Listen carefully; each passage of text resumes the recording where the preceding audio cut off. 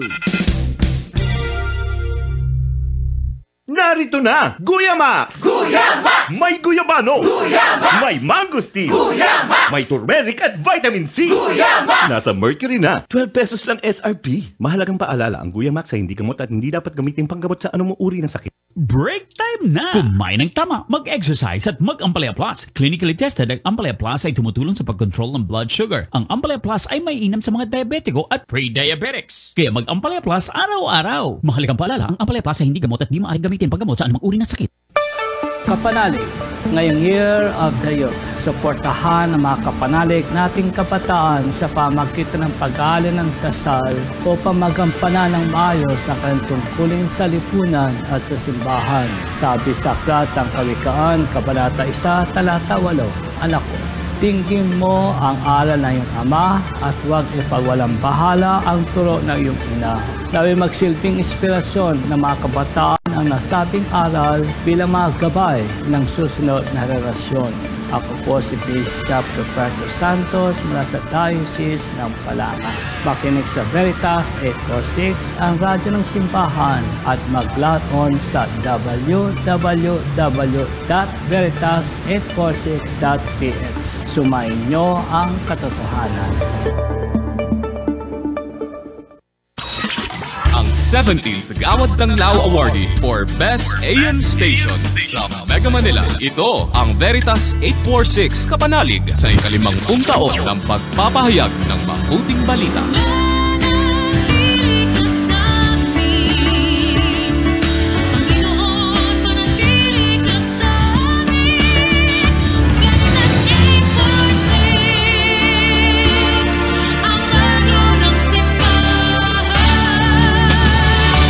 Member Catholic Media Network and kapisanan ng mga broadcaster ng Pilipinas.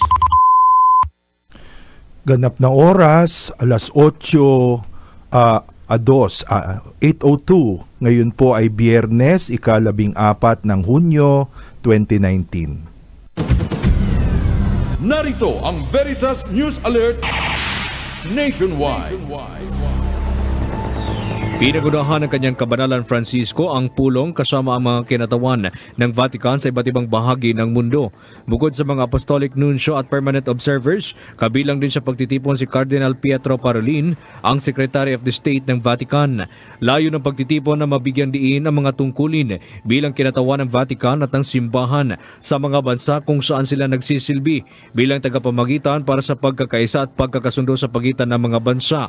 Dagdag pa ni Pope Francis, mahalaga bilang kinatawan ng simbahan ang patuloy na pananalangin sa kanyang pamumuno at pagpapanibago sa pamamagitan ng pagkawanggawa. Higit sa lahat bilang Kristiyano at kinatawan ng simbahan, ang nunsyo ay tinatawagan na sundan ang payak na pamumuhay ni Jesus ng Nazareth. Sa Pilipinas, itinalaga ng Santo Papa Francisco bilang apostolic nunsyo ang Italianong si Archbishop Gabriele Giordano Cazia noong Setyembre 2017. Magbabalik ang mga balita mamayang alas 9. Ako ang inyong kapanalig Norman Dikia, sumainyo ang katotohanan.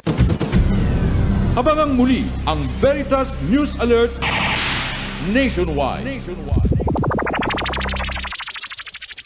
Ang balitang ito ay inihatid sa inyo ng Daughters of St. Paul, Pauline's Media Center, located at number 2655 FB Harrison Street, Pasay City. Call 831-6430. Inihandog ng Society of St. Paul Philippines Macau at Veritas 846 ang Sambuhay Interactive. Isang oras ng Parish Youth Bible Encounter on Air. Enkwentro sa buhay at pagsamba. Sambuhay Interactive. Tuwing biyernes mula alas 8 hanggang alas 9 ng gabi dito sa Veritas 846 ang radyo ng simbahan. Sambuhay Interactive. Kapanalig, kasali ka. Sambuhay Interactive. Makinig.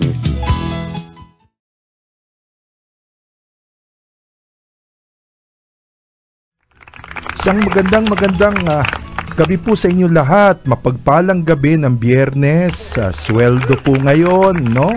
Kaya marami nasa daan at ah, kumusta na po kayo mga kasambuhay at mga kapanalig. Ako po si Father Domi Guzman ng Society of St. Paul at ngayong gabi ay kasama natin sa studio ah, hindi mula sa remote kundi mula sa studio si Magandang gabi mga kasambuhay, mga kapanalig. Ako po si Father Angelo Paulo Esper ng Society of St. Paul. First time ko dito sa booth ng Radio Veritas. Kasama ko ngayon si Father Domi. Alright. Ayun, no? Welcome, Father Pao. No? Palagi you. ka kasi nasa remote. Nasa ano? remote, oo. Oo. So, samahan po ninyo uli kami ngayon sa isa na namang oras ng masayang talakayan tungkol sa buhay parokya at buhay Biblia.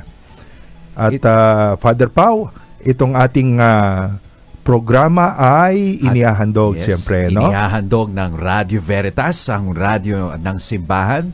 Kasama ho ng Society of St. Paul Priests and Brothers sa pamamagitan ho ng St. Paul's Audiovisual, so SPAV, at St. Paul's Bible Ministry. Ayun, no?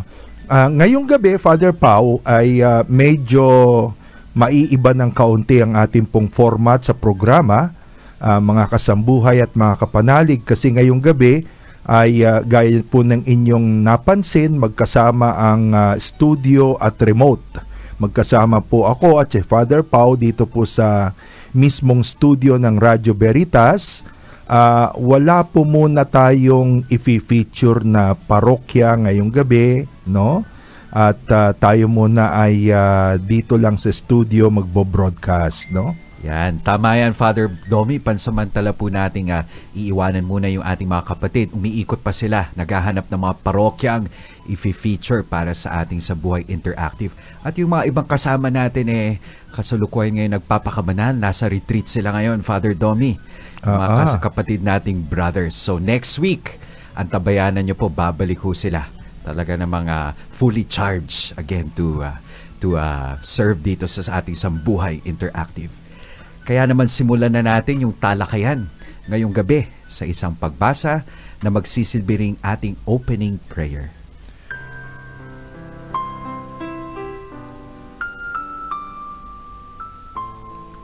Ang pagbasa po natin ay mula sa Ebanghelyo ayon kay San Juan, Kabanata 14, talata ah, 8 hanggang 11 at mula din sa talata 15 hanggang 20. Sinabi sa kanya ni Felipe, Panginoon, ipakita mo po sa ipakita po ninyo sa amin ang Ama at masisiyahan na kami. Sumagot si Jesus, Kay tagal na ninyo akong kasama. Hanggang ngayon hindi mo pa ako kilala, Felipe? Ang nakakita sa akin ay nakakita na sa Ama. Bakit mo sinasabing ipakita mo sa amin ang Ama? Hindi pa ba hindi ka ba naniniwalang ako'y nasa Ama at ang Ama ay nasa akin? Hindi sa akin galing ang sinasabi ko sa inyo, ngunit ang Ama na nananatili sa akin ang siyang gumaganap ng kanyang gawain. Maniwala kayo sa akin. Ako'y nasa Ama at ang Ama ay nasa akin. Kung iniibig ninyo ako, tutuparin ninyo ang aking mga utos. Dadalangin ako sa Ama upang kayo'y bigyan niya ng isa pang patnubay na magiging kasama ninyo magpakailanman. Siya ang Espiritu ng katotohanan na hindi matanggap ng sanlibutan sapagkat siya ay hindi nakikita ni nakikilala ng sanlibutan. Ngunit nakikilala ninyo siya sapagkat siya'y nasa inyo at siya'y mananatili sa inyo. Hindi ko kayo iiwang mga ulila, babalik ako sa inyo. Kaunting panahon na lamang at hindi na ako makikita ng sanlibutang ito, ngunit ako'y makikita ninyo sapagkat buhay ako, mabubuhay rin kayo. Sa araw na iyon ay malalaman ninyong ako'y nasa Ama at kayo na may nasa akin at ako'y nasa inyo.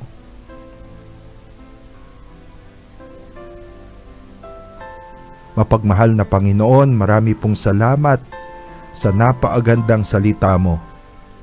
Maraming salamat sa iyong pananahan sa gitna po namin, sa piling namin. Kahit na ikaw ay nakabalik na sa Ama sa pamagitan ng kapangyarihan ng Espiritu Santo. Nawa sa aming mga gawain, anyayahan ka namin palagi na makasama. Hindi lamang kung may pangangailangan, kung hindi sa bawat aming gagawin, iisipin, lahat po ng ito sa iyong pangalan, Panginoong Heso Kristo. Amen.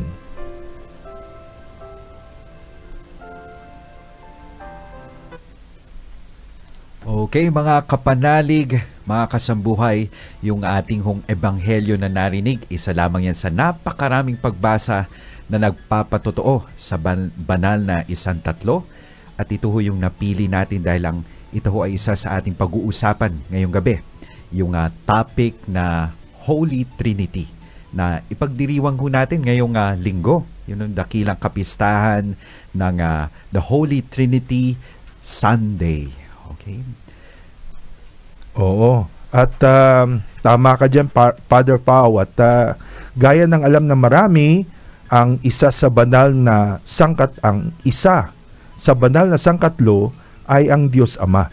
Kaya tamang-tama rin kasi itong darating na linggo, ang ikalabing anim ng buwan ng Hunyo, ikatlong linggo ng buwan, ay uh, Father's Day. At uh, binabati ko yung aking papa na alam ko po ay medyo hindi magandang pakiramdam pero salamat sa aking kapatid na umaattabay sa kanya diyan sa pako, no? Okay. Nakikinig ba siya ngayon, Father Domi? Oo, Siyempre. nakikinig, nakikinig. Oo. oo. Siyempre, inaalala rin ho natin hindi lamang yung mga biological fathers, kundi mga spiritual fathers natin, mga father figures. Bukas ho yan sa ating, ah, you know, a special, ah, you know, day for for them, you know, as we thank them sa kanilang role sa ating buhay. Ayun, at uh, binabati rin po natin si Father Pau. Kahapon po ay birthday niya. Okay, salamat ho. Alam na ho ng ah, madlang people na ako ay tumanda Oo. ulit. Basta't uh, natapos po ang Independence Day, susunod na araw ay birthday ni Father Pau. Oo nga, yes. At pista rin ho yan sa aming village, yung San Ah. Antonio Village sa Ayun. Makati ho yan. Oo. Okay, so Father Domi, wag na ho nating patagalin pa. Mga kasambuhay, ah, atin nang simulan yung ating talakayan, ang ating reflection ngayong gabi. Inuukol sa ah, sa Trinity, isa ho yan sa mga pinakamalagang misteryo ng ating pananampalataya. Mm-mm. Alam naman po ng lahat, kahit sinong katoliko si, o kristyano, sigurado kung tatanungin kung sino ang banal na isang tatlo, lagi ho nilang ah, sagot dyan, you know, eh, syempre walang iba kundi yung Ama, Anak at Espiritu Santo. Syempre yan yung ah, very basic na pinag-aralan natin nung tayo ay bata pa. Know? Yung iba pa nga, eh, syempre ipaparecite doon sa mga bata. You know, pag na-recite nila yung ah, alam nila in the name of the Father and of the Son and of the Holy Spirit, aba, bibigyan ng candy. Ah. may Aba, kapalit ah. Ayan, Oo. may kapalit. Oo. Ah. Pero sabi ko nga, ito very basic na pag-aralan na natin simula nung pagkabata. Sign of the cross. Ayun. Pero syempre, habang tumatanda tayo, sinusuri natin, ano nga ba yung ibig sabihin kapag tayo ay nag-sign of the cross? In the name of the Father and of the Son and of the Holy Spirit. You know, parang medyo komplikado ata yun. Sinasabi, sinasabi nila, naku, ibig sabihin ba yan tatlong Diyos? Tatlong ulo? Meron ang Mhm. Diyos. Mm. Ayun. Mm. Kaya kailangan natin, you know, talakayin ngayon. Ayun, oo. Okay. Oh, naalala ko, Father Pao, nung kami nag-aaral ng theology dyan sa Loyola School. Mhm. O yan ang isa sa mga panindak noon ni ano ni Father Roach, no? Mukhang nag-retire na yata siya. Si Father Roach. Ang unang banat niya agad sa klase namin noon eh, Who is God? Hindi kami makasagot. oh, tapos sinabi sa amin, you have just prayed, you don't know who is God. no? Tapos uh, sabi niya sa amin, God is Father, Son, and Spirit. Siya nga naman. No? Naninindak lamang. Oo. Pero ta- tama po yan na habang tayo po ay ah, tumatagal sa mundong ito, maraming bagay tungkol sa ating pananampalataya ang higit natin dapat na maunawaan Ah, ngunit ah, ilang mga bagay ang dapat natin tandaan, Father Pao, no? Mhm. Unang-una, ang ah, sinasabi po nating ah, doktrina ng ah, Blessed Trinity, Holy Trinity o yung paboritong salita nun ni Father Pete Sevilla, no? Ang dakilang sangkatlo. Yan, palagi niyang gamit, no? Iisa ngunit tatlong persona. Ito ay misteryo. Ngayon, pag sinabi po misteryo, um, ito hindi natin nauunawahan ng todo-todo, ngunit alam po natin at sigurado tayong tama ito sapagkat itinuro ito ng ating Panginoong Heso Kristo. Mhm. At ah, siguro ah, hindi natin lubos na maintindihan sapagkat limitado ang pangunawa nating mga tao sa mga bagay-bagay na tungkol sa Diyos, siyempre, no? Kung naunawaan na natin lahat-lahat tungkol sa Diyos, delikado yung Father Pau. Mhm. Kasi Diyos na rin tayo. Correct. Di Sabi ba? nga, the more you know, the more you do not know. Ayun, oo. So, ga- gayon pa man, ang turo po ng simbahan ay malinaw. Tayo ay may iisang Diyos lamang. Ah, hindi po tatlo, no? Ah, hindi tatlo, iisang Diyos lamang. Pero ang iisang Diyos na ito, mayroon pong tatlong personang nagkakaiba-iba ang gawain o ang role. Ang Ama, ang Anak, ang Espiritu Santo, tatlong persona, pantay-pantay, pare-pareho, Father Pau, ang ah, kanilang pagkadiyos at iisa yan hanggang sa walang hanggan, no? lubos na makapangyarihan, etc. Ah, ngunit ah, hindi mas mataas, no? Hindi mataas ang ama porket ama mas mataas yan. Hindi. Ang ama at ang anak at ang Espiritu Santo equal yan, no? Ah, kaya lang syempre ah, ano ang dahilan ng kanilang kaibahan, no? Yan, no? Ah, siguro Father Pau eh ah, pwede mo akong tulungan dito. Paano ba nagkakaiba itong mga tatlong personang ito sa iisang Diyos? Yan. Ayan. Katulad nga ng sinabi ni ah, Father Domi, magkakapareho sila, equal in divinity. No? Mm-mm. Isang Diyos. Pero syempre, magkakaiba ng mukha. You know? Or magkakaiba. Meron yung ah, Diyos Ama, Anak, at Espiritu Santo. Diyos Ama, yung lumikha. You know? Diyos Anak, yung tumubos. Mhm. At Diyos ah, Espiritu Santo, yung nagpapabanal you know, sa Mhm. atin ngayon.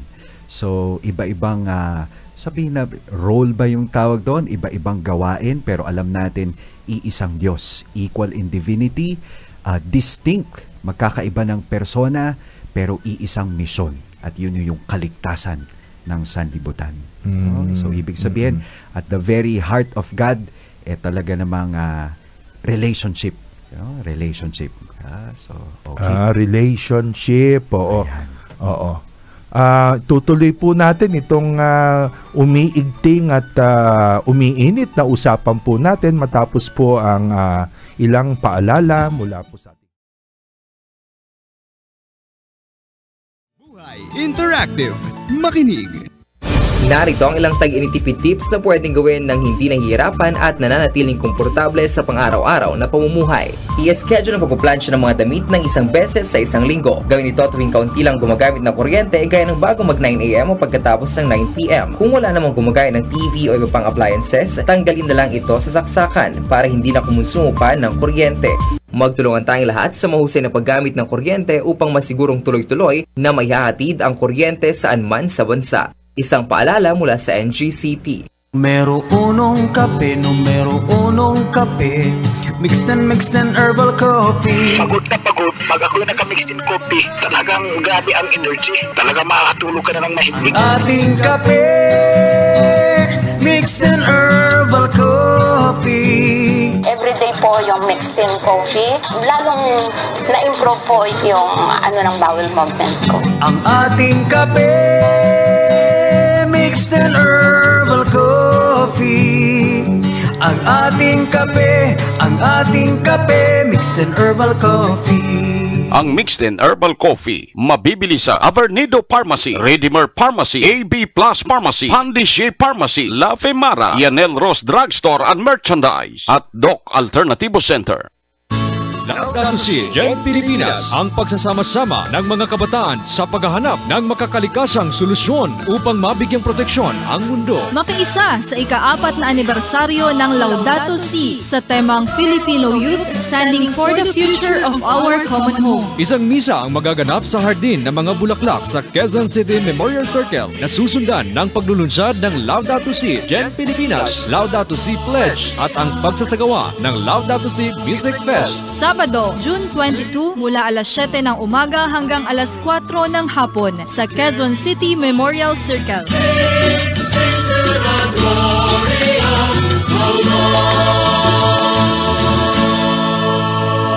Sambuhay Interactive. Kapanalig. Kasambuhay. Kasali ka. Plural pronouns. yung Majestic Mm. plural. Ah, yung bang nangungusap ang Diyos na hindi siya isa kung hindi parang Mm. may kasama. Ah, halimbawa sa Genesis chapter 1 verse 26, ah, yung paglalang po ng mundo, ah, sabi po doon sa Genesis 1:26, ngayon likhain natin ang tao ayon sa ating larawan, ayon sa ating wangis. So ibig sabihin, ah, may kasama ang amang lumikha ah, nung ginagawa niya ang mundo, lalo-lalo na ang tao, no? At uh, yan nga po, ka- kadalasan ang paliwanag ng maraming mga scholar, ito daw po ay ah, isa sa mga unang palatandaan na bagamat iisa ang lumikha, iisa ang Diyos, sila ay ah, isang community. Oo, di ba? Oo. Okay. Ta- maganda yung sinabi ni Father Domi. Iisa lamang ang Diyos, pero sa Diyos, it is a community of love. You Mhm. know? So, magkakasama yung tatlong persona.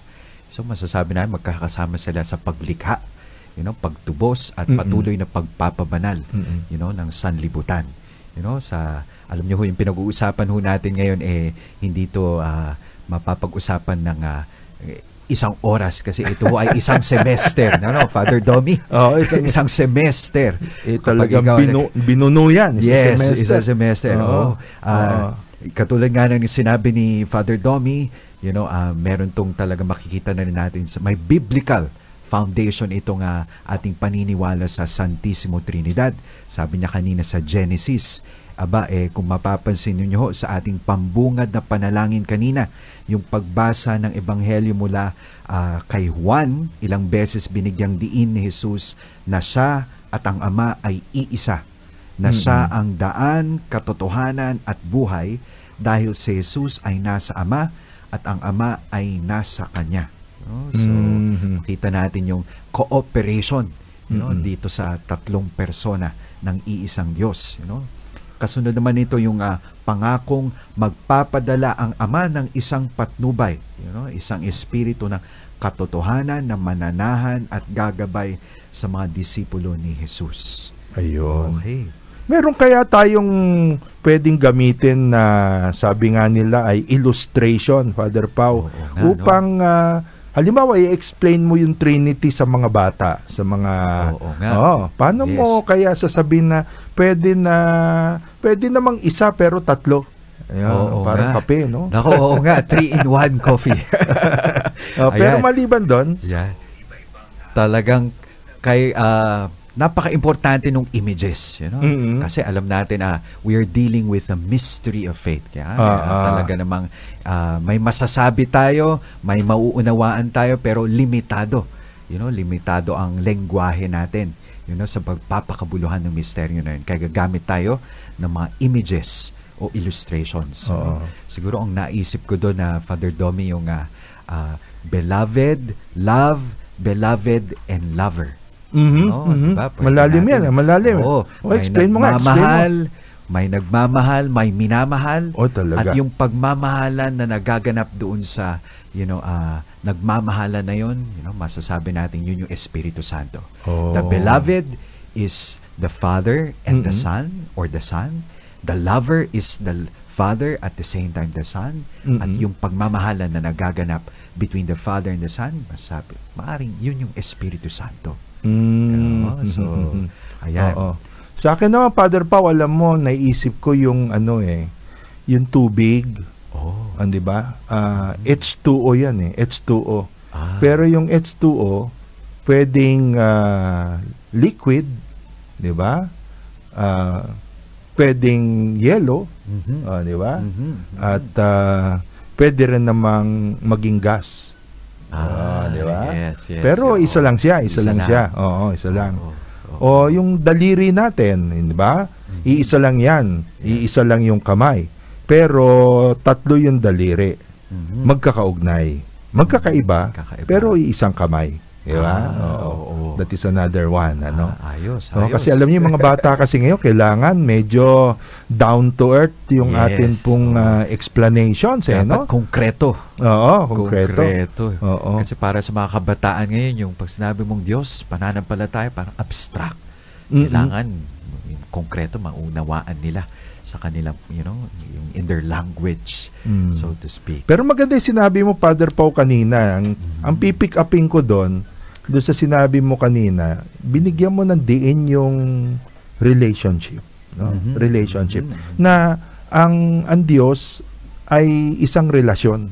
Oo. Diba? Isang Yes, relationship. yes. Oo. So, sabi mo nga, nandun yung lover, nandun yung beloved, sino yung lover, sino yung beloved, pwedeng ama, pwedeng anak, they love each other, di ba?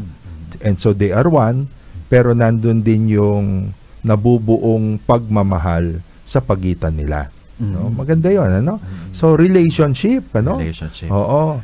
So, eh tayo ginawa doon sa ganun, Father Pau. We are made Yes. in the image, sabi nga doon, and in the likeness of God. So, dapat ah, Mhm. mga kapanalig at mga kasambuhay, dapat ganun din tayo. Ang buhay natin dapat ay isang relasyon, Mhm. no? Relasyon. Oh. Okay. So, yan talaga ang ating mission, you know, kasi dyan ho tayo, nilikha tayo bilang kawangis ng Diyos na nagmamahal, you know, at itong uh, pagmamahalan ng Diyos na santatlo, eh, hindi ho ito exclusive sa kanila lamang. Mhm. Kaya nga, it is overflowing. Mhm. Sa kadalasan kasi, yung ating yung mga relationships natin, eh, may tendency na to become exclusive. Di ba? Oh, So, okay. ah, itong pagmamahalan ng tatlong ito, talagang hanggat maaari ibabahagi nila sa Mm-mm. sanlibutan. You know, tayo ho yun. Nilikha tayo you know, sa pagmamahal. You know, kaya our vocation is to love. You know? Ayun. Ayan. So, ah, hindi lang pala dapat ah, doktrina itong ah, Yes. Blessed Oo, Trinity oo, na ito, oo. kung hindi mga kapanalig at mga kasambuhay, ito dapat ang script ng ating buhay mismo, di ba? Mm, Oo. mm, mm, Oo. Ah, na tayo ah, tuwing tayo po ay ah, nagsa-sign of the cross, dapat ay ah, ito po ay ah, isang ah, paalala sa atin Mhm. na yung sign of the cross na yon ay ah, hindi lamang po tanda ng ang tanda ng krus kung hindi yan ang dapat natin pong isabuhay araw-araw. Correct. Diba? Oo. Yes, yes, yes. Ayan. Naalala ko tuloy, ah, Father Domi, Oo. pagkatapos ng aking, ah, you know, ah, okay, pagkatapos ng aking ah, ah, ah, misa, eh, may nagtanong sa akin, Father, pwede ka pa bang ma-in love? Oh, sabi, Mhm. Siyempre. Nako, ha? Nako, medyo Oo. hindi ako nakasagot doon. Kaya sabi, Aha. pag ah, hindi mo daw alam ang sagot, eh, ngitian mo sila. Aha. Mabuti na lamang, eh, naalala ko, eh, yung sinabi, you know, ng professor namin sa, you know, sa theology, our vocation is to love. You know? Siyempre, sa ating mga pare, eh, Oo. hindi, eh, hindi yan exclusive, kundi inclusive. Know? Mhm. Okay. Okay. So, ah, tayo po magbabalik uli da, dito sa ating Sambuhay Interactive ah, ah, matapos po ang ating paalala.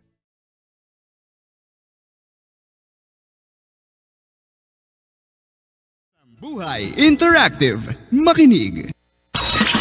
Ang 17th Gawad ng Lao Awardee for Best AM Station sa Mega Manila. Ito ang Veritas 846 Kapanalig sa ikalimang taon ng pagpapahayag ng mabuting balita.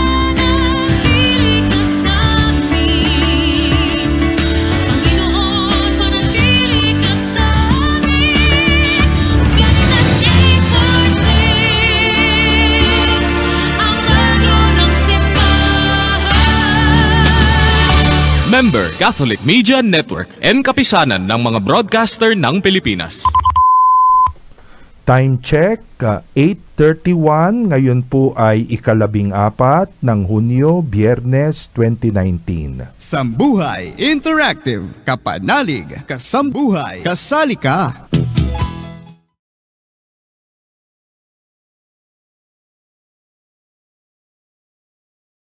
Bilis po ng oras, mga kasambuhay at mga kapanalig sa ating pong pag- pag-uusap tungkol sa banal na sangkatlo. No? Naalala ko po ang kwento po ni San Agustin. Nais niya talagang ungkatin lahat tungkol sa Trinity. ah, Hanggang nakakita siya, Father Pau, ng isang bata na may hawak na isang maliit na kabibi, no, shell. Tapos sinasalok ng bata yung tubig do sa dagat. Ah, sabi ni San Agustin, saan mo dadalhin yan? Sabi ng bata, sinasalok ko lahat ng tubig ng dagat, lalagay ko dito sa aking munting balon. so ganun ka, ganun po ang ah, atin pong ah, palagay ko experience whenever we speak about the Trinity. Pero maganda po yung ating pinagkatapusan, Father Pau, na ah, itong doktrinang ito ay aral din ng buhay. No? So siguro Father Pau, ngayon naman tayo dadako po mga ah, kasambuhay at mga kapanalig doon naman sa isa pang topic po natin ngayong gabi tungkol sa mga fathers. Yan. Happy Father's Day sa darating pong ah, araw ng linggo. Araw ng Yan, linggo. no? Ah, Oo. Okay. Oo nga pala, no? Hindi lamang yung mga biological fathers, spiritual fathers, mga father figures natin. Mm-mm. At makikita natin, you know, sa mismo sa ating Biblia, maraming mga role models, you know, role, ah, mga ah, model ah, fathers na maaring ah, maging inspirasyon sa mga tatay, you know.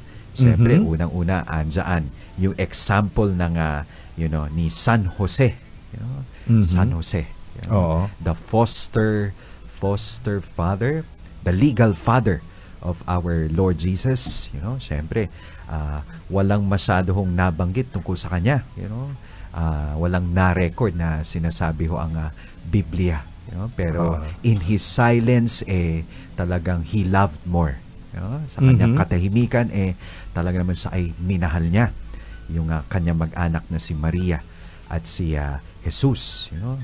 O alam mo natin yung kwento, no? Eh, He's ah, ah, known for his righteousness, you know? Mm. Righteousness, you know? Mm, mm, mm. Masunurin sa batas. Mm, mm. Pero para kay Jose, yes, siyempre, mas mahalaga ang tao, no?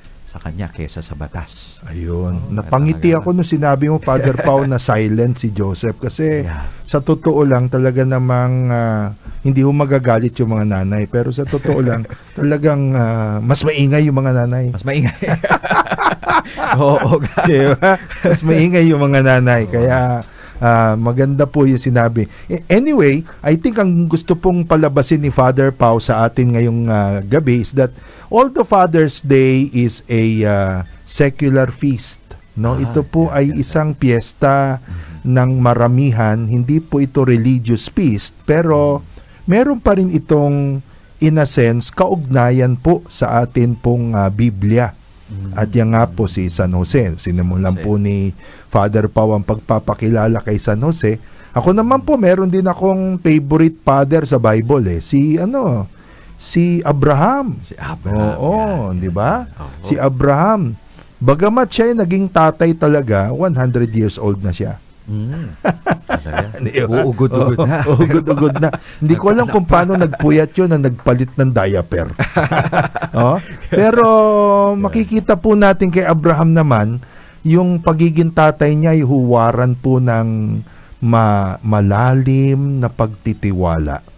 And uh, normally, para po sa akin, ang experience ko sa father ko, ganon eh, no? Ah, naging ah, na- naging larawan siya ng pagtitiwala kaya siguro siguro masyado na build up yung aking confidence sa sarili ko. Diyan pala. Oo. Galing kay ba? Oo, sa tatay, ko 'yan, oo. Jack of all trades ang tatay ko, Father Pau, ano? Oo. Oo. Ikaw baka meron ka pang kilala sa Bible na tatay. Ah, Ayan. tatay. Sino pa ba yung mga tatay natin sa Ebanghelyo? Siyempre, si Moses. Aha. Ah, si Moses, ba, naging instrumento ng Panginoon para palayain at gabayan ang Israel. You know? Mhm. At siya ho yung isang leader. You know? Alam natin ang mga tatay eh, sila yung leader. Leader ng bawat pamilya. Haligi you know, ng bawat tahanan. Leader, leader si Moises na sa tulong ng Diyos eh napagtagumpayan ng Israel ang maraming pagsubok at mga kalaban. You know? Eh, Siyempre, naalala ko naman yung aking tatay, no? Talaga Mhm. ng mga, you know, ah, you know, yon talagang ah, he's really a good provider. You know? So to speak, Ah, ah. leader Mm-mm. ng aming ah, pamilya. At hindi lamang na aming pamilya, syempre, you know, extended families. Alam mo naman ng isang leader eh, Mm-mm. you know, ah, syempre extended 'yan. You know, he has the heart of a leader to lead also yung mga kapatid niya, yung mga, you know, kamag-anak namin. Ayan, parang Mm. si Moses. Mm. Ayan. Alam mo, Father Pao, kung minsan yung tatay, ah ah, bagamat ina-idolize natin yung ating mga tatay, ah, meron din naman silang mga kahinaan, di ba, Yes, Father yes, Pao, no? oo. Ah, sa Bible po, alam nyo, may mga tatay din na may kahinaan, pero bagamat may kahinaan, hindi ibig sabihin hindi sila naging mabuting tatay, di ba? Halimbawa si Abraham, gaya na sinasabi ko, ang kahinaan ni Abraham kung susuriin yung Bible, kapag ah, si Abraham pala ay naiipit, naiipit siya, mahilig mag white lies. Mm. Di ba? Sabi niya kay Mga tatay Sarah. pala eh. Oh, sabi niya, sabi niya kay Sarah baka baka makursunada ka nung pero kaya pag tinanong ng pero kung sino ako, huwag mo sabing asawa ko. Sabi mo kapatid lang. Yan. Mm-hmm. si ano, si Noah, si Noah, no? Isang ah, magaling na tatay ito kasi biro mo talagang trinabaho niya yung pagliligtas ng buong pamilya niya, no? Sa panahon ng dilubyo kahit na tinawag siyang siraulo, no? Pero alam niyo po, kung titignan rin ng Bible sa Book of Genesis, ah, hindi po alam siguro na marami ito, pero alam mo pala, Father Paul, ito pala si Noah, ayon sa Bible, siya yung nakatuklas paano magparami ng grapes. Mm. At syempre, tinikman niya. At siya rin ang unang nalasing. Oo, mga tatay ha. Okay. Oh, Kaya ba- pala. Biblical yan, ha? Biblical, yan, no? oo. Biblical, oo. Pinanggalingan. Oo. okay. Ah. oh, Father Pao, sino pang kilala mo mga, mga ah, mahalagang mga Mahalagang tatay? Tatay, okay. Oo. Oh, naalala ko pala ah, bago ko ah, mag-proceed oh, you know, yung kay Moses rin pala sa kanya na yung siya mismo yung nagbaba ng batas. Ah, you know, ah, batas ng Diyos, 'di ba? Ah, alam natin ang mga tatay eh alam mo naman sila yung batas ng tahanan. Pero yung mga tatay eh syempre may mga soft spot rin yan. Yeah? Lalong-lalo na pag ah, syempre nilalambing ng kanilang mga anak. You know? Mm. Minsan, pag ayaw payagan nung, nung nanay, pupunta yan kay tatay. You know? Si Ah. tatay makikiusap kay nanay. Oo, Okay. oo, mga oo. tatay, mga maton, pero batas sila ang batas ng bahay, pero may soft spot yan. Alam nila kung para sa kabutihan ng anak, aba, they would uh, Mm-mm. push through. Okay, may mga ilang, uh, syempre, may mga ilang models rin tayo outside the Bible. You know, syempre, nabanggit mo kanina si San Agustin. Mhm. Si San Agustin, Mhm. eh, you know, he lived, you know, a dissolute life, you know, pero alam natin, ah, ah, makasalanan siya sa kanyang kabataan, pero in the end, eh, ginamit siya ng Diyos, you Mm-mm. know. Ah, naging santo, naging bag, naging obispo, Mm-mm. naging santo at ah, syempre naging naging obispo siya. Of course, bago siya naging obispo, I think nagkaanak siya. Ah. Ang pangalan ay si Adeodatus. Adjudatus, Ah, no? mula ho, yun Mm-mm. oh. Okay. So, kahit hindi ho sila kinasal, you know, Mm-mm. naging malapit at mabuting ama si San Agustin sa kanyang anak. Well, in fact, you know, sabay silang tumanggap ng sakramento ng binyag. Ayun. Pero klaruhin natin, Father pa, baka mamaya akalain nung iba, okay lang yon. Ito ay naganap bago yung kanyang tinatawag po na conversion. Ano? Ah, yes, Oo, yes, nagkaroon din kasi ito si San Agustin ng ah, conversion Mm-hmm. at the age of 40, kung di ako nagkakamali. No? Mm-hmm. 40 years old siya talagang ah, iniluhod at ah, talagang ipinanalangin ng Santa kanyang Monica. nanay na, sen- na si Santa Monica. Ayan, no. Of course, yung pagiging father, ah meron ding positive side, Father Pao. Halimbawa si Therese of Lisieux, yung palang tatay niya, saint din, ano, si Ah. Louis Martin. Louis Martin. Oo, hindi po to singer, ha? Louis. si Ricky Martin. ah, Ricky Martin Ricky naman Martin. yun. Oo. okay. Oo. Si Louis Martin. Oo. Oo. Isa siyang ah, f- watchmaker. ah, Mm. Watch repairman. Pero naging halimbawa siya, Father Pau, ng ah, hindi lang good provider, kung hindi ah, spiritual man. No? Mm. Ah, Sa kanya natuto si Teresa of Lisieux ng pananalangin. No? Isa rin, ito si Saint Basil. Basil the Elder. Basil the Oo. Elder. Etong si Basil the Elder naman, Father Pau. Ito ba yung mga isi- Greek fathers? Oo, Ito? mga Greek fathers Oo, ito. oo. Ah, isipin mo ha, sampu ang naging anak. Aba? Pero sa sampung anak na yan, Father Pau, lima, lima ang naging mga santo ng simbahan. Oh, ba talaga? Si Basil the Great, Gregory of Nyssa, no? Si ah, Peter of Sebase, Oo. Hindi man si Bashi. Ah, hindi Si man si. Basi. Basi. Oo. Okay. At si Saint uh, Naucratius, yan. At si Macrina the Younger. Isipin mo yung Parang ganyan. sainthood ano? is in the family. Wow, no? It Oo, runs in the it runs blood. in the ano? blood. It runs in the Oo. blood. Eh, Oo. nagsisimula talaga yan sa kabanalan ng tatay. Mm. Ah, kung tatay ay madasalin, Oo. it follows. So, hindi pala totoo, Father Pau, na yung nanay lang ang madasalin. Oo. O, Pwedeng ang tatay ay maging font din, no? Uh, paano ba Yes. yung font? Yung Bukal, no? Bukal. bukal. Bukal ng panalangin, bukal ng kabanalan. Ehemplo sa Ayun, kanyang mga anak. oo, oo, Oo. oo. Ayan. Okay. So, iilan lamang yan sa napakaraming pwedeng ah, gawing ehemplo ng mga tatay o ama mula sa, you know, sa Biblia, mula ho sa ah, tradisyon ng ating simbahang katolika, sa Mm. kasaysayan ng simbahang katolika.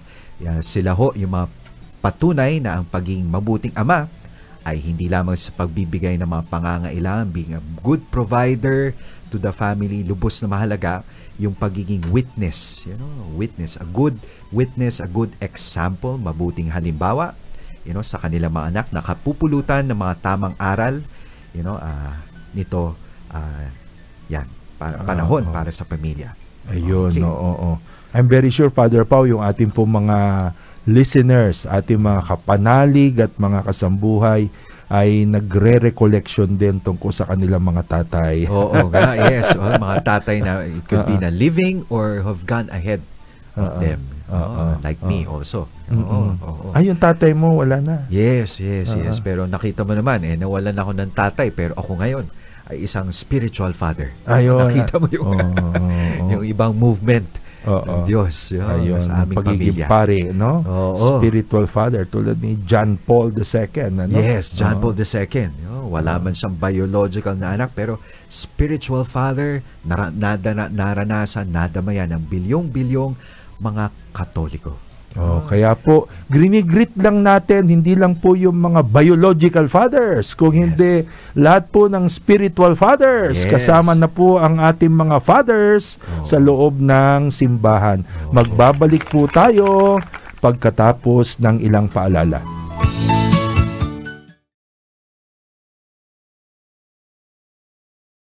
Sambuhay Interactive. Makinig.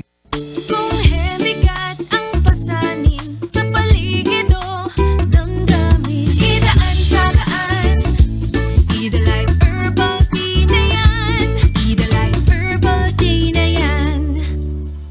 Narito na! Guyamax! Guyamax! May guyabano! Guyamax! May mangosteen! Guyamax! May turmeric at vitamin C! Guyamax! Nasa Mercury na. 12 pesos lang SRP. Mahalagang paalala, ang Guyamax ay hindi gamot at hindi dapat gamitin panggamot sa anumang uri ng sakit.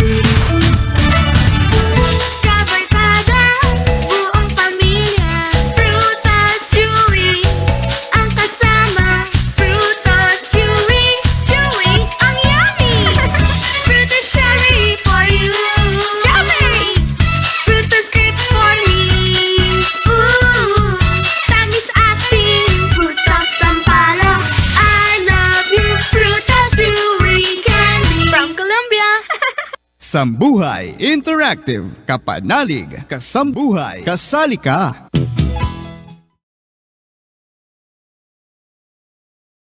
Takbo po ang oras, 8.46 sa ikalabing apat po ng Hunyo, Biyernes dito po sa ating Sambuhay Interactive over Radio Veritas. At ako po si Father Domi Guzman ng Society of St. Paul. Kasama po natin Ako naman po si Father Paulo Asper ng Society of St. Paul. Magandang gabi sa inyong lahat. Oo. At ah, gaya po na sinabi natin, medyo ah, tayo po ay nagre-rest ng konti mula sa ating mga paro-parokyang pagbisita. Um, hopefully next ah, week, Father Pau, tayo ay magre-resume ng atin pong ah, ah, parish Bible encounter. Pero um, chinecheck pa natin kung saan parokya tayo pupunta eh. Yes, Oo. yes, oo. Chine-check pa ng ating mga brothers ngayon na nasa field. Ayun, ano yung oo. next na i-feature natin. At Baka malaman nila. yan. Oo. Oo. Malaman nilang malakas kumain ng mga taga-sambuhay. Ano Oo. Oo, yes, Diba? yes. Magpapasalamat rin tayo sa mga parokya na, you know, you know, they open their parish to us. You know, they Mm-mm, welcome us oo. sa kanilang parokya. Oo, so, And uh, it's nice seeing them also sa parokya nila, no? Yung mga Yes, pari natin, ano? At uh, yung ating pong uh, mga kabataan. Yes, no? nakita natin buhay na buhay ang ating simbahan Oh. sa, with the presence of the youth today. You know, Oh, ikaw nga pala palagi nasa parokya, kwentuhan mo Oo kami. Ano nga. reaction mo sa so far yung mga naging experience mo Father Pau sa uh, atin pong Parish Bible Encounter sa iba't ibang parokya na puntahan nyo? Aba, ma- magandang experience ho yan kasi pinapakita na yung simbahan natin, you know, sa bawat parokya, eh talagang buhay na buhay. Buhay na Mhm. buhay with the presence of the young people. Nakita nyo yung mga kabataan, you know, sinasabi natin na they're so much engaged with, you know, social media, technology, gimmick. Aba, hindi.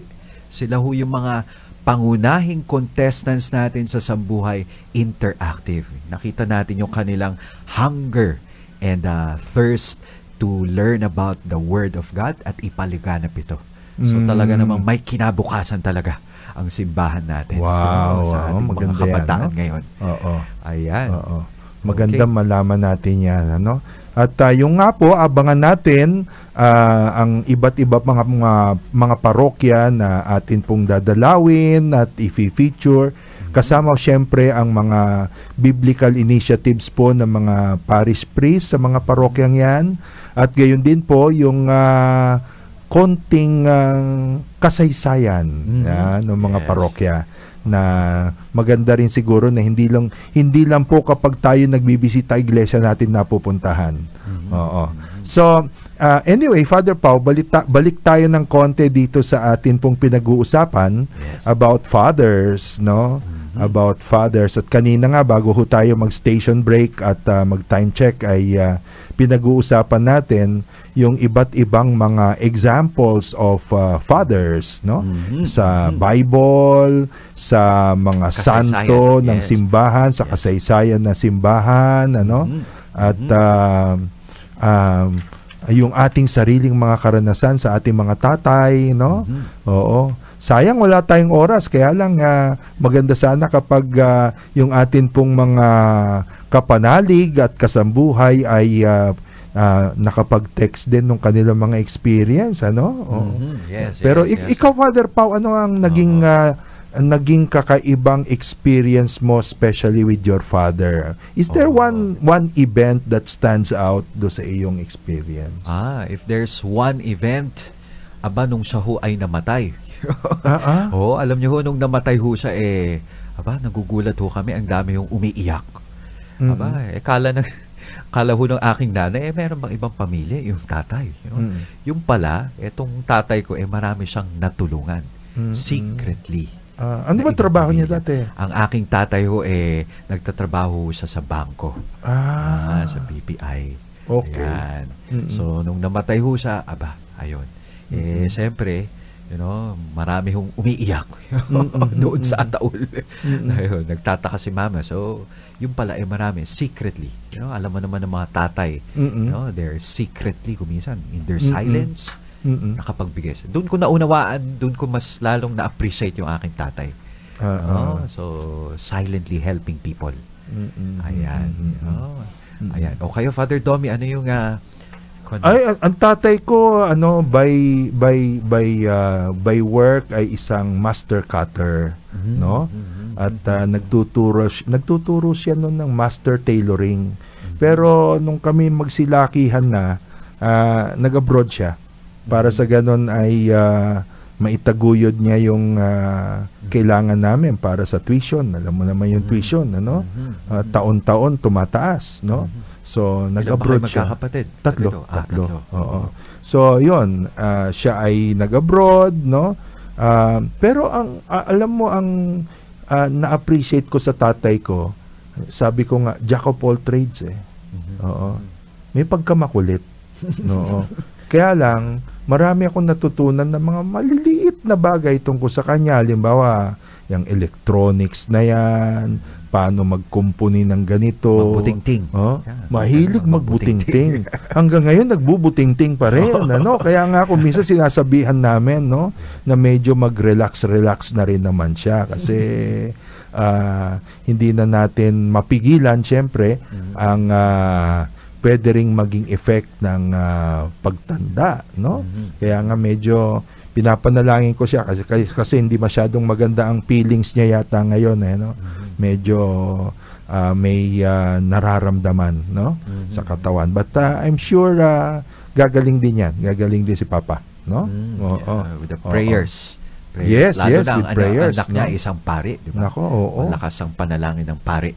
Nako, Oo. yun ang hindi alam po ng marami. Akala ng marami kapag ang, an- ang anak nila ay nagpari ay nawawala na sa pamilya. No? Oo. Yan na alam ng marami. Yes, Ah, hindi lang nila alam. Yes. Oo, yung mga kabataan dyan, ako, di ba? na gustong ah, magpare, aba, Oo. eh, syempre, Oo. yan, very much welcome. Yeah. Speaking about uh, Saint Joseph bilang uh, huwaran ng mga tatay, uh, sabi mo nga kanina, uh, legal father no of uh, Jesus. Siya ang tumayo na tatay ni Jesus sa harap ng batas. Mhm. Kaya nga si Jesus ay kinilala bilang anak ni Jose, no? Mhm. Ah, alam mo ito pa lang si Saint Joseph, ah, Father Pau, ang kanyang tal- talagang trabaho ay tekton. Mm. Tekton. Tek, parang tectonic ba yan? Tectonic. Ah, yun eh, Greek word, Greek word, no? Greek word na ang ibig sabihin ay ah, hindi talaga carpenter eh. Kasi Ah, pag sinabi mong tekton, Artisan ba yun? oo, artisan, ibig sabihin, ah, pwede siyang gumawa ng furnitures, pwede siyang Mm. kumumpuni ng bahay, pwede siyang gumawa ng artisan well. Mm-hmm. Ah, sabi ko nga, dapat siguro ang translator, ang translation niyan eh, ano eh, hindi carpenter ko, hindi foreman. Baka Foreman. contractor pa nga eh. Ah, okay. Oo, Oh. baka contractor pa eh. No? Kaya, kaya alam nyo, um, malaki ang naging influence. Sabi nga ni Father Pau, um, hindi masyadong nabigyan ng talking lines si Jose sa Bible, sa Gospel, pero very sure malaki ang naging influence niya sa human life, ah, sa human knowledge ng atin pong Panginoong Heso Kristo, no? Oo.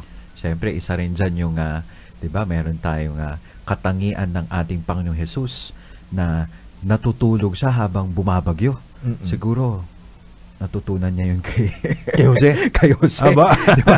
yung sleeping Ah, Saint Joseph, di ba? Oo. Oo. Diyan- diyan sa ano, sa Regina Rica, diyan Aha. sa sa Taytay. ba yan? Lampas pa yan. Oo, doon na sa sa may Rizal. binangonan ba yan? Anyway, ah doon sa likod nung napakalaking birhen doon eh, merong isang pavilion ang nakalagay doon eh, The Sleeping Holy Family. Wow, tatlo Oo. sila. Tatlo sila. Sabay-sabay Oo. matulog. Pero nagta- nagtataka ako, nakatulog yung tatlo, si Jesus, si Maria, si Jose, nakangiti pa rin. Ah. Oo. Mukhang nananaginip sila. Oo, nakangiti pa rin. Ayan. ah, Oo. so, the family that sleeps together Aha. oh, stays together. Hindi Ba, lamang sa maganda yan. Oo, maganda yan, maganda yan. Oo. Oo, maganda yan. Ayan. Sleeps together. Kaya yung mga tatay, ha, huwag kayong palaging ah, kung saan-saan nag sleep Oo, no? oo nga, nangangapit bahay. Dapat kasama ang mga anak, ang Ah, asawa ah. sa pagtulog. Ayun, oo. Eh, talaga Oo. naman, you would stay together.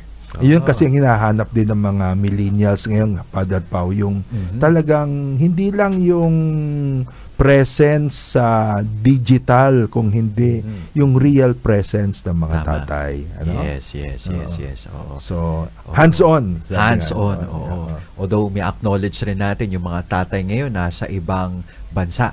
They Mhm. would, want to provide like yung inyong tatay, di ba, Father Domi? They would really want to provide for the family. You know? Mhm. Pero wala pa rin talagang tatalo. Yes, ma, merong communication sila sa kanilang mga anak online, pero iba pa rin talaga yung physical presence you know, Ayun. sa mga anak. Oo. Yan. Siguro, Father Pau, ah, sa mga sandaling ito, tayo'y mag-aalay ng Mm-hmm. atin pong ah, panalangin ah, sa pagtatapos ng atin pong ah, Sambuhay Interactive ngayon and ah, let us pray ah, especially para po sa ah, mga tatay, no?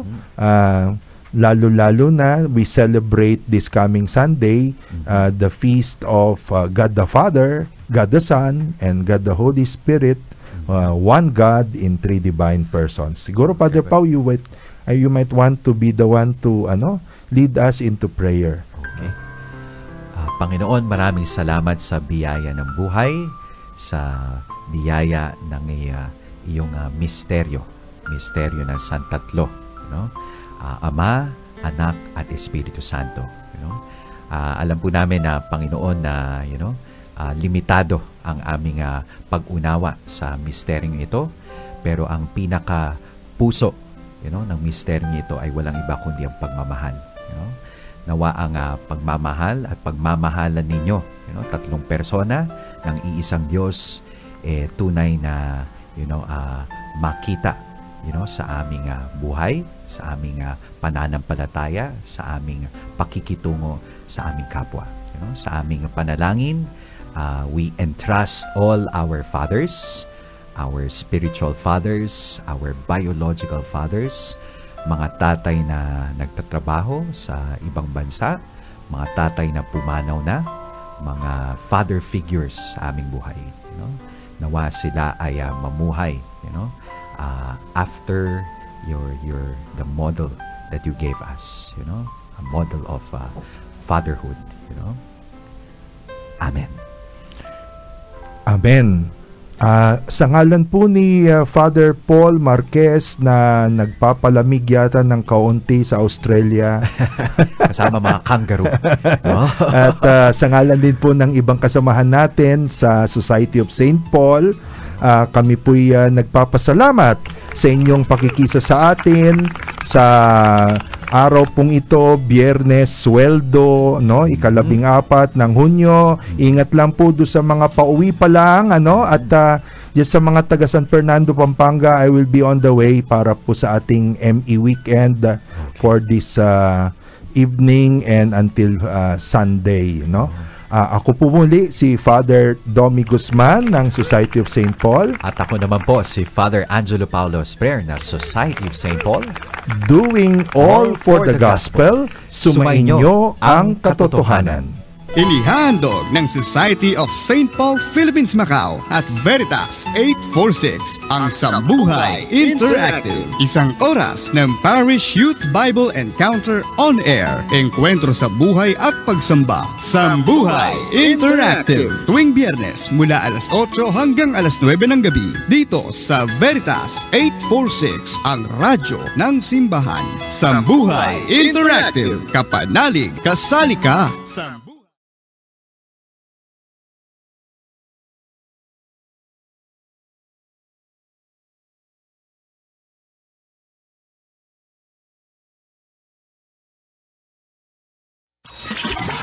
17th Gawad ng Lao Awardee for Best